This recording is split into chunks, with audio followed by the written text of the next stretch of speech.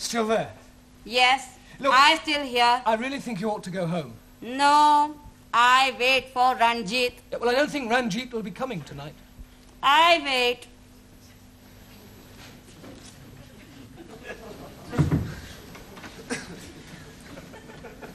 Is she still being out in corridor? Yeah, I'm afraid so, Ranjeet. Look, Miss Courtney is not going to be very pleased when she finds out about this. Oh, dearie me, what am I going to be doing? Well, can't you just tell her you're not going to marry her?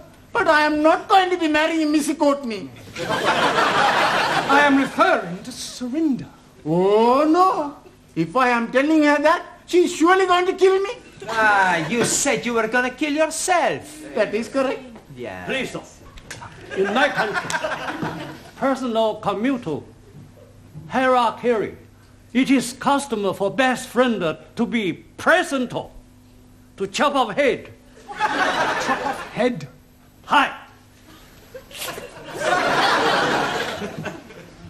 I will be happy to assist.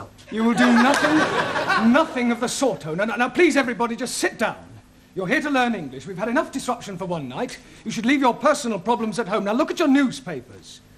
Juan, read out a headline. Por favor. The newspaper. Ah, sí. El newspaper. Yeah, well, read something out. Ah. Eh, vamos a ver. Vamos a ver. Increase in London rats. London rats. Sí. Increase in London rats. Rates.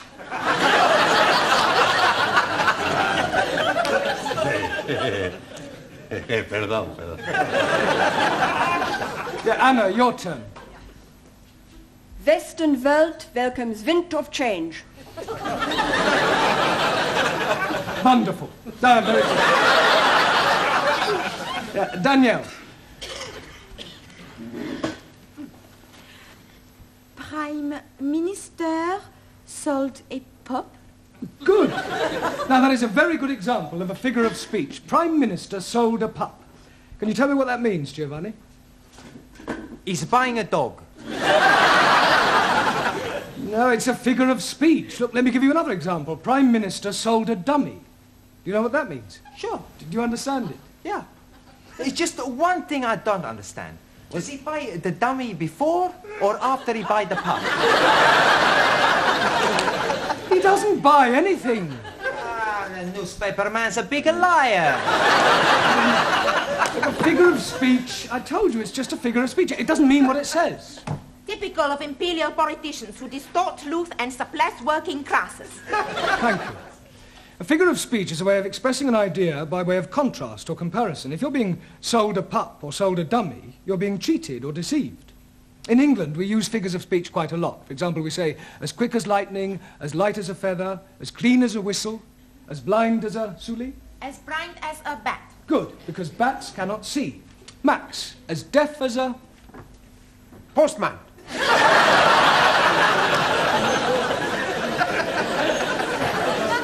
Now, Max, post, because posts cannot hear. Neither can my postman. Ali, as sly as a... Sikh. Fox, Ranjeet, as mad as a... Muslim. Hatter, Taro, as drunk as a... Neutral. Well, Lord is more correct. Jamila, as white as... You. Snow. Ali, as smooth as... Baby's bottoms. Uh, all right, we'll break for tea now and continue with the uh, newspapers when we come back, all right? Please, how am I going to be getting out without being observed by the fat one? Well, that's your problem. My problem is how to get her off the premises before Miss Courtney finds her.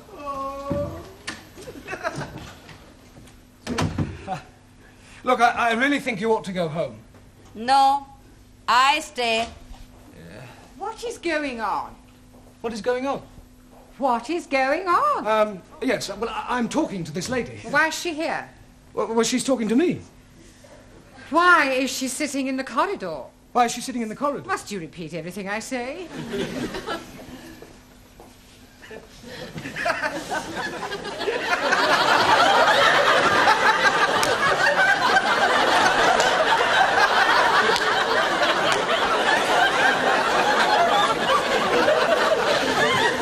I could have sworn that woman wasn't pregnant yesterday. You're safe now. Thank you, Jamila. Thank you. Thank you. What you do now? Maybe I jump out of the window. You be lucky. We're on the third floor. Oh! Mr. Brown, I have a feeling that something very peculiar is going on. No, no, everything's perfectly all right, I can assure you. Are you going? Yes. Ah. To get a cup of tea.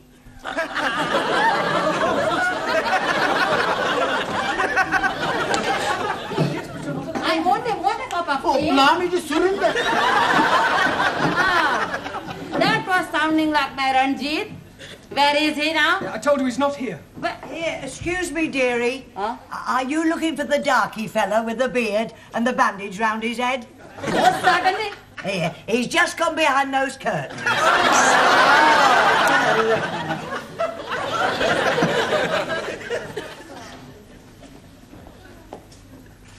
Come out, Ranjeet.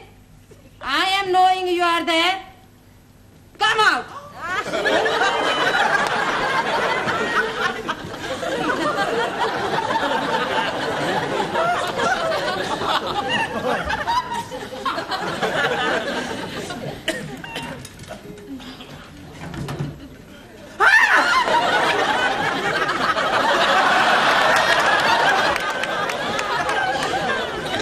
What is the meaning of this?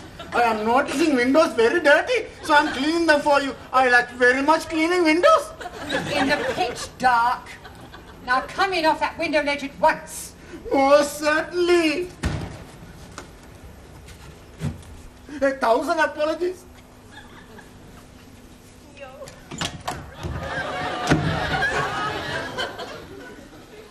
Wonderful.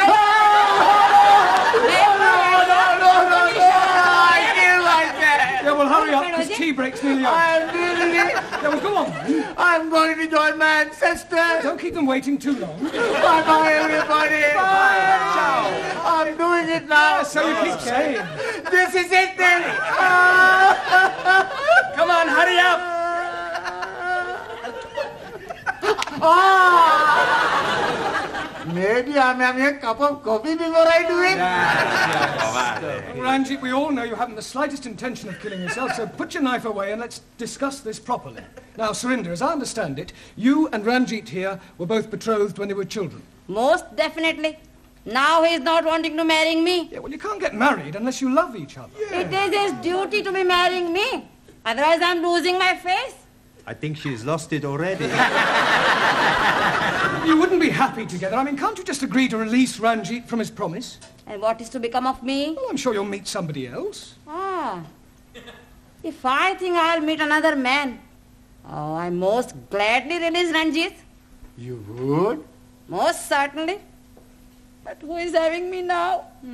You know, Surinder, there is something Mr. Brown is not telling you. There is. Oh, yes, indeed. He has special reason for wanting you not to be marrying me. I have.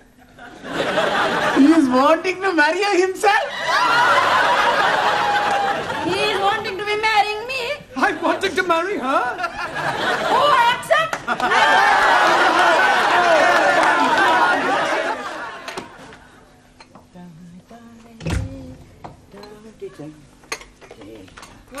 Hello, Mr. Brown. Good evening, Gladys. Here, when's the happy day then? There's not going to be any happy day. It was all a complete misunderstanding. Oh, what a pity. And I thought you and Surinder made a lovely couple. Uh, with all due respect, she was a couple on her own. it's just nice. Uh, good evening. Right, before we start, checked your homework last night. And I have a feeling that there's been some sort of chicanery going on. We not know what you mean. No, Giovanni? Well, I'll tell you. Firstly, there's the fact that five of them are all in the same handwriting. it's a sheer coincidence. And is it also a coincidence that you all answered question seven as follows? Question, explain what is wrong with the following sentence. My dogs is in the garden. Answer, I do not have a garden. Only Tippy. I want my tippy Yes, well, you will all receive extra homework tonight. And please, this time, make sure that you do it yourselves. I am apologizing again. but I am delayed by Surinder. Well, I thought she'd agreed to release you from your marriage vow. Oh, yes, she has. But her father is coming to see you about your marriage vow. Look, there's not going to be any wedding. I have broken it off. Oh, dearie me. How painful. I have written to Surinder's parents explaining that I cannot possibly marry their daughter. I've also pointed out the differences between our religious and cultural backgrounds and the fact that I have no intention of marrying anyone. Oh. You should have got the letter this morning. Oh, yes, he did. That is why he is coming. He is hoping to be slicing you into many pieces. Pardon? He is saying you are bringing disgrace on his daughter. Don't be ridiculous. This isn't the Punjab. It's England, a civilized country. People just don't go around slicing each other up, and I shall tell him so. Where is this illegitimate offspring of a six-legged camel? Oh, blame me. I am not knowing where he is. He, he's not here. He has immigrated. Ah. Thank